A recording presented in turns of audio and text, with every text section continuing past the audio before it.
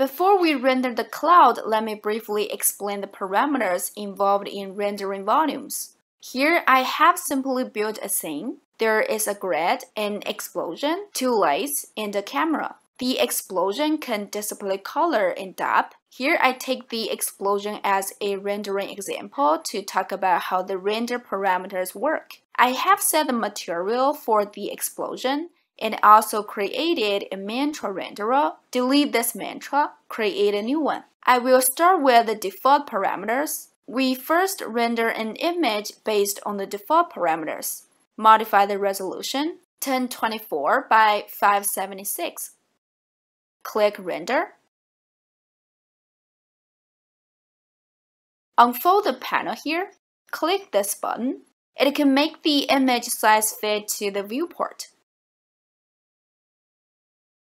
We mainly explain the parameters under sampling and limits. Firstly, I usually use the PBR mode for the rendering engine. It's physically based rendering, which is more realistic. I will skip the depth and motion blur below and start with parameters under sampling. The first is the pixel samples. The default is 3 by 3. It means each pixel is sampled 3 times in the horizontal direction and 3 times in the vertical direction. 9 samples in total per pixel. The more the sampling times, the better the image quality, the less the amount of noise in the image we can see there is still a small amount of noise in it. If we want to know the principle of the pixel samples, we need to know how Mantra samples the scene. Firstly, Mantra sends out primary rays from the camera into the scene based on the number of pixel samples. When a primary ray hits a surface, Mantra fires secondary rays to the lights. These secondary rays can be divided into two types, direct and indirect. The secondary ray will judge if there is an obstacle on the way. If there is an obstacle, the object will be in the shadow. If not, the object will be fully illuminated.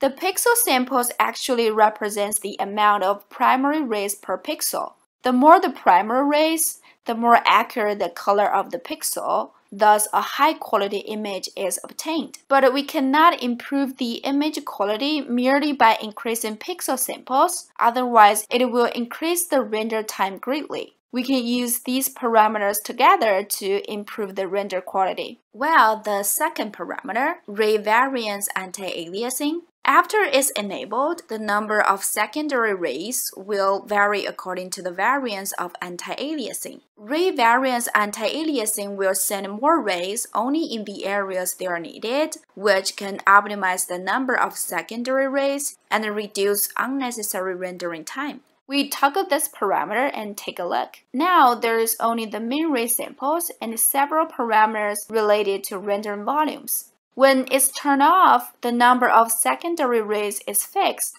which is determined by the min ray samples. Let's render a picture and take a look. Save this picture.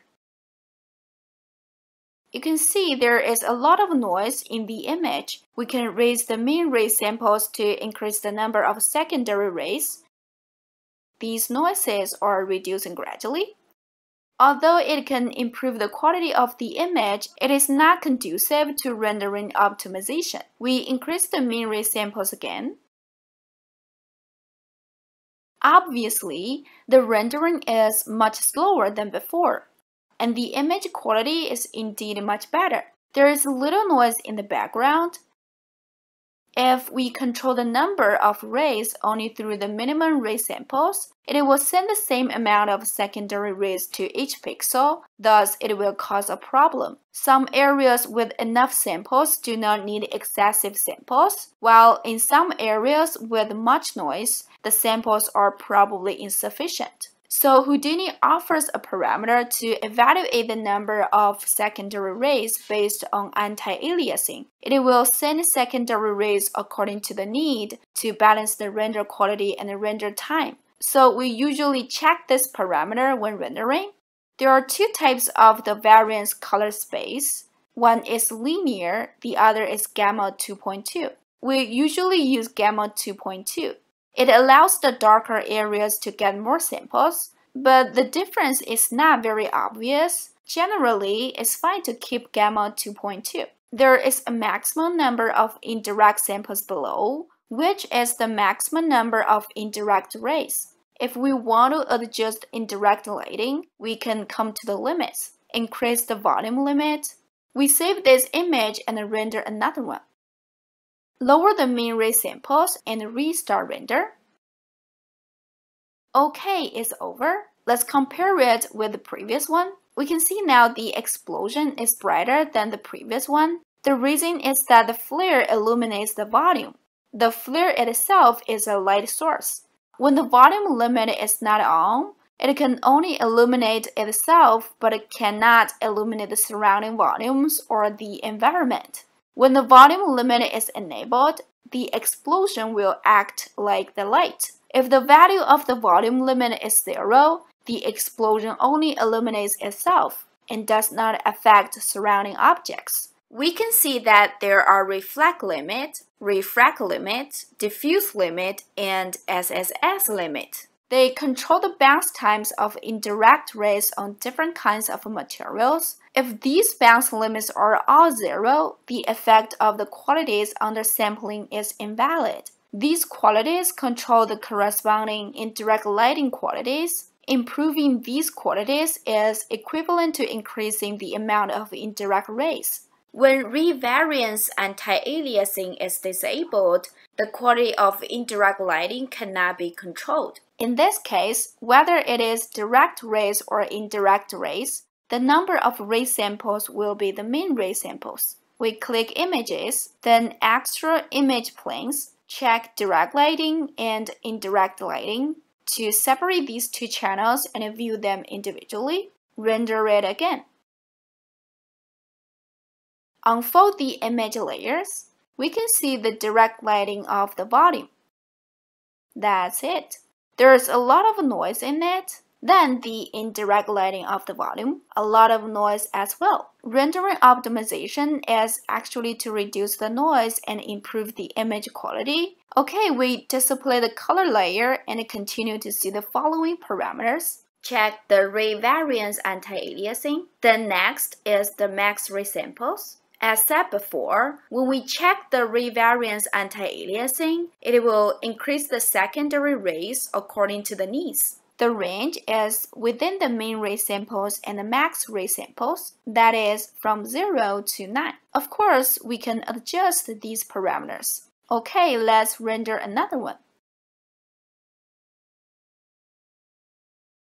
There is less noise now. Because the max ray samples has been increased to 10, the noise level below controls the noise level you can accept in the image. The smaller the noise level, the more the sampling times of secondary rays. Of course, it won't exceed the max ray samples.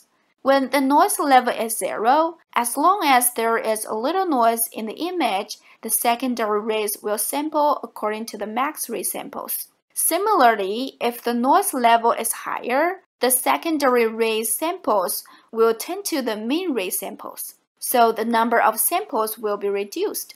Of course, it won't be less than the min ray samples. Therefore, the smaller the value of the noise level, the more the times of resampling, the quality of the image will be better. The global quality controls the multiple of diffuse quality, SSS quality, reflection quality, refraction quality, and volume quality. You can improve the overall quality by it. Generally speaking, I don't recommend raising the global quality. You can improve a certain part specifically. Then the diffuse quality. Let's first look at the effect of the diffuse channel. It is black. We need to increase the diffuse limit then render another one. Okay, the render is done. Now the gray background is brighter than before. It's illuminated by the flare, but with a lot of noise. Let's take a look at the indirect diffuse channel. There is indeed a lot of noise in it. We can improve the diffuse quality to reduce the noise of indirect lighting. Let's render again. Save the current frame Okay, now the noise in the gray background is much less than before. Let's take a look at the indirect diffuse. Compared with the last one, Obviously, the noise is much less than before. Additionally, we need to pay attention. Raising the diffuse quality will reduce the actual noise level. We said just now that the noise level controls the level of noise you can accept in the image. The smaller the noise level, the more the times of resampling. After we raise the diffuse quality, the noise of indirect diffuse will be reduced. Thus, the indirect lighting for diffuse will sample more rays. The quality of the indirect lighting will be better. The other qualities also affect the actual noise level. The SSS quality, reflection quality, refraction quality are not involved currently. We turn them off. Then the volume quality. Let's take a look at the image. Now there is some noise on the explosion. Let's see the direct and indirect lighting of the volume. This is the direct lighting. We can see the density is dark. The noise is not obvious. Let's see the indirect lighting. There is a lot of noise on the indirect lighting layer. We raise the volume quality, render it again, save the current frame. Okay, it's over. Let's compare it with the last one we can see the indirect lighting has less noise than before. Switch it to color. Set the diffuse quality and the volume quality of indirect lighting to 1. The volume step rate controls how many voxels a ray passes through to sample one time. The volume is composed of many voxels. It is different from geometry. When sampling the geometry, the rays just reach its surface. But when sampling the volume, the rays need to pass through the voxels. We know the volume usually has a large quantity of voxels. If so many voxels need to be sampled one by one, the calculation of the sampling is very large. So here we can control the volume step rate. 0.25 by default means sampling every 4 voxels. When it is 1, each voxel is sampled once. When it is 2, each voxel is sampled twice. During the sampling process, it evaluates the shader and accumulates the density of the volume. Generally, I don't set it to over 0.25. The volume shadow step rate below is similar to the volume step rate. It only samples the shadow. You can also control the number of shadow samples. Next, the stochastic transparency. Enable it, we can control the stochastic samples. I hide the gray background render it and take a look. Well, you can see there are many small particles in the transparent area.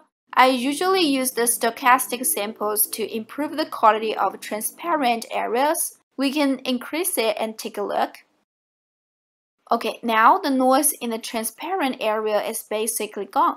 This is the role of the stochastic samples. After checking the sample lock below, Although there is some noise in the image, it will not flicker when you render the sequence. Lastly, the random seed, it can vary the sampling. Okay, these are the parameters under sampling. The parameters under the limits mainly control the bounce times of indirect arrays. Okay, so much for the parameters about the renderer. Besides, there is a sampling quality under the light. Let's take a look. Yes, it is. It can also increase the number of resamples. Raising this value can also reduce the noise in the picture. Under the environment light, it works the same way. Okay, back to Mantra. In addition, here you can see the maximum number of indirect samples is 20. If the quality is below or 0, the system will calculate the max samples one time, which is 10 currently. Now the diffuse quality is 1, then it is 10 plus the value of multiplying the global quality and the diffuse quality and the max ray samples. If we increase the diffuse quality to 2, the maximum number of indirect samples is raised to 30. If you also enable the SS quality, reflection quality, and refraction quality, the maximum number of indirect samples will continue to increase by multiplying each quality and the max ray samples and the global quality respectively, and then adding the results up. Like this, the maximum number of indirect samples comes out.